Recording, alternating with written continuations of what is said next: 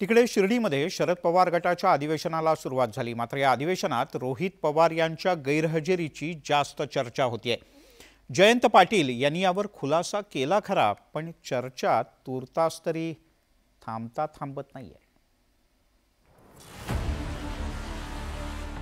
साईंच्या नगरीत राष्ट्रवादी काँग्रेसच्या शरद पवार गटानं दोन दिवसीय अधिवेशन आयोजित केलेलं आहे. पक्षफुटीनंतर हे शरद पवार गटाचं पहिलंच राज्यव्यापी अधिवेशन आहे. आणि त्यामुळे या अधिवेशनाकडे सर्वांच्या नजरा लागल्या होत्या. मात्र या अधिवेशनाला आमदार रोहित पवारांच्या गैरहजेरीवरून उलटसुलट चर्चा रंगली.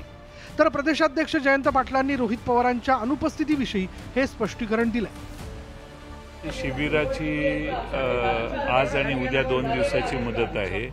रोहित पवार परदेशी गेलेले आहेत. त्यांनी शिबिराची पवारसाहेबांनी तारीख दिल्या दिल्या मला सांगितलं. त्यांना हजर राहता येणं शक्य नाही पहिल्या दिवशी. ते प्रयत्न करून आज संध्याकाळी किंवा उद्या सकाळपर्यंत येतो अशी त्यांनी भूमिका कळवलेली आहे. त्यामुळे ते येतील.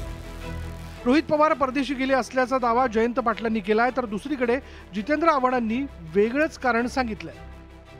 एखादा माणूस कोरोनाने आजारी असेल तर तो या शिबिराला कसा येऊ शकेल?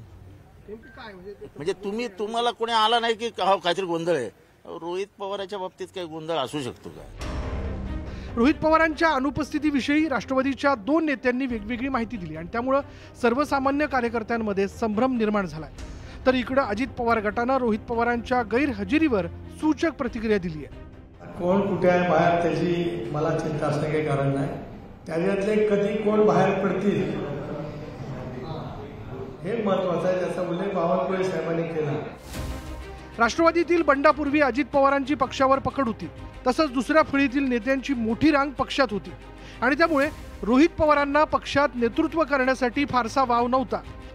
पण पक्षातील बंडानंतर दुसऱ्या फळीतील बहुतेक नेते अजित पवार गटाच्या वळचणीला गेल्यामुळं रोहित पवारांसाठी मैदान मोकळं झालंय. नुकतंच त्यांनी युवक संघर्ष यात्रेच्या माध्यमातून आपलं नेतृत्व अधोरेखित करण्याचा प्रयत्न केला होता. मात्र रोहित पवारांच्या अधिवेशनातील गैरहजेरीमुळे अनेकांच्या भुवया उंचवल्या नाही तरच नवल.